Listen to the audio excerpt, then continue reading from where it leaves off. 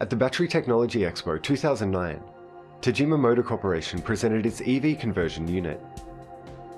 EV conversion enables ordinary vehicles with a gasoline engine to be converted to environmentally friendly electric vehicles by incorporating units and kits into them.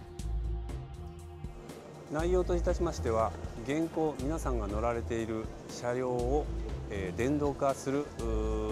あるいは電動化するためのユニットを我々で、えーまあ、 パッケージングして、えー、販売できればともちろんそのキットと書いてあるようにユニットごとで販売っていうこともあればもしかすると車にした状態で販売っていうこともありえますけどもそういうようなもので現行の車を電動 EV 化するというためのキットを開発中という車両であります。At the show, Tajima took out the power unit, engine, cooling system, exhaust system, and fuel system from an every light wagon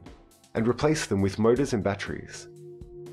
The aim is for the car to go 100 kilometers at 80 kilometers per hour on an 8 hour charge, with a maximum motor output of 30 kilowatts.